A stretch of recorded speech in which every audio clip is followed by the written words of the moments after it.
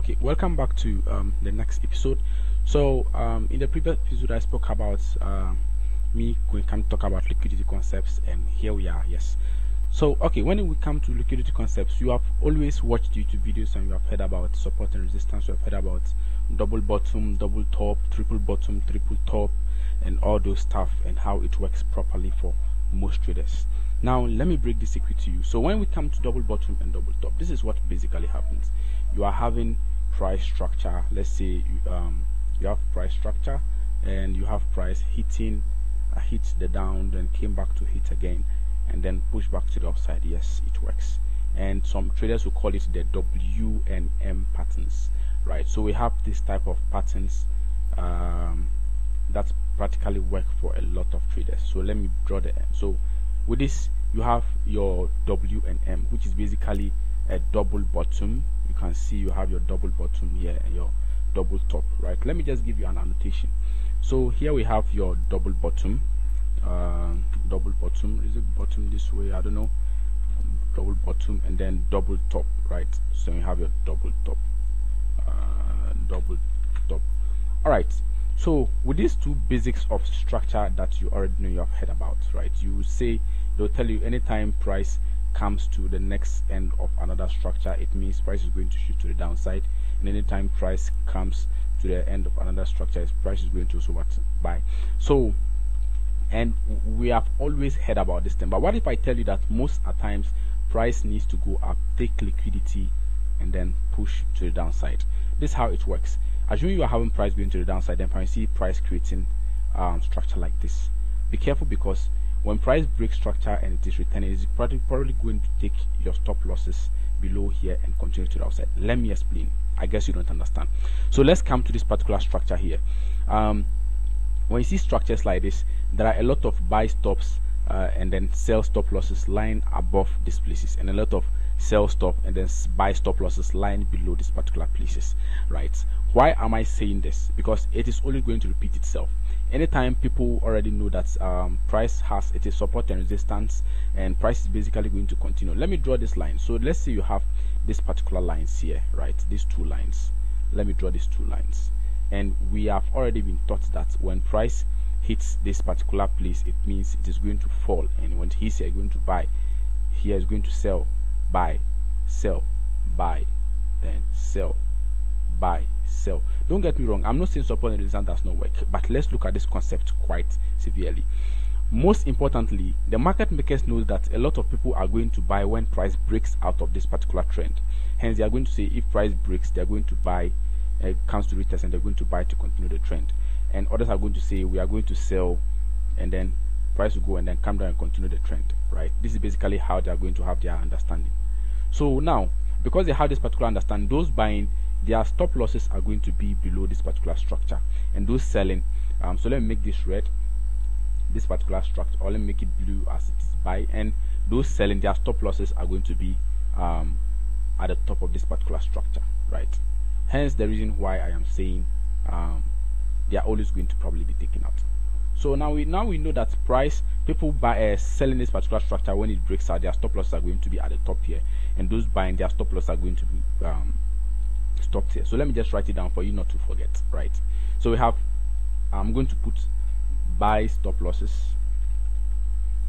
buy stop uh, losses buy stop losses and sell stops.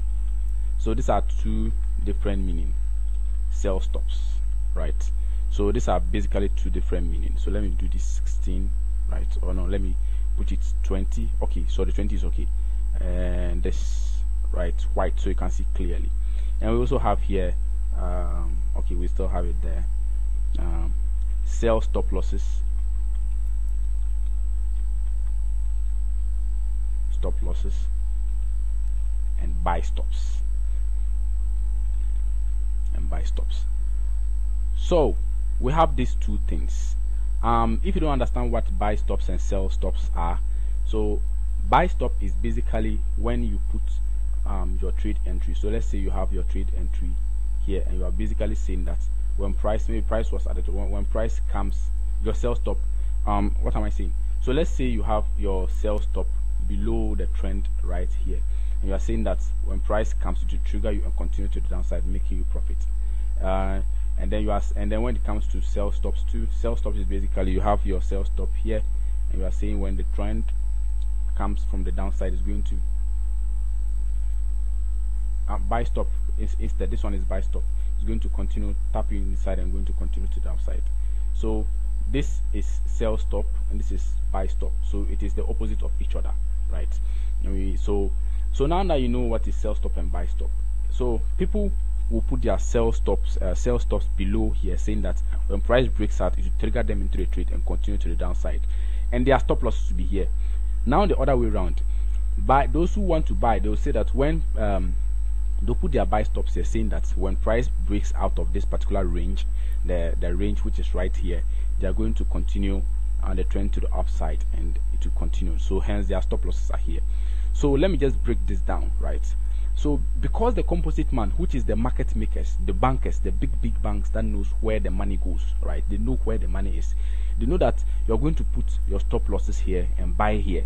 And then when you are and they also know that when you are selling you're going to put your stop losses here and sell this particular place. Hence they are always going to stop you out and go to the uh, maintain direction. Now hence why i drew these particular things right here. So now let's look at this particular thing and let me explain. So we have we have uh, sell stop losses and buy stop losses here right?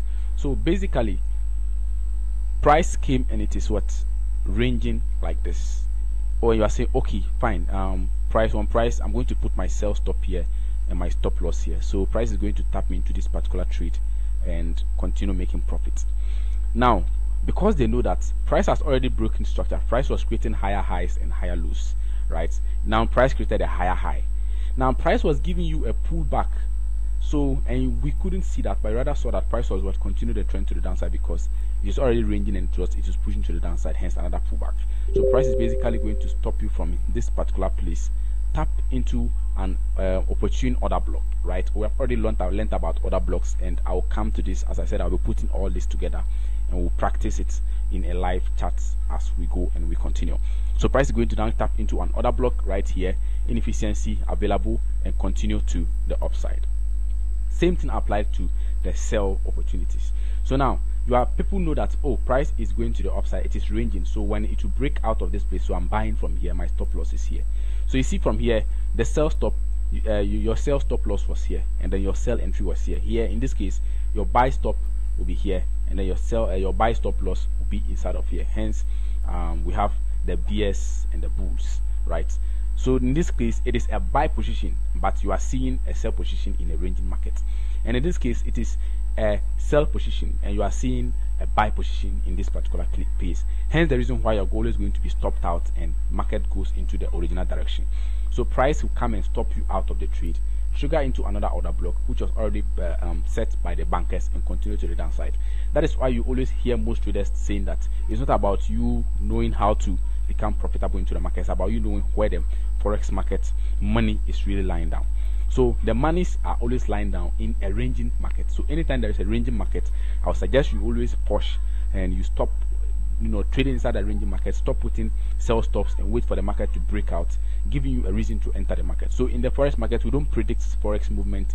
We actually predict we, we, we actually do is react to what the forex market gives us so hope you understand with this particular concept if you don't understand please make sure you um, you practically um, give your reason into the group and I'll be really waiting to answer and record another video explaining this in depth um, for the benefit of all of, of, all of us and you too as well. So um, with this particular concept, I hope you guys understand and so see you in my next episode.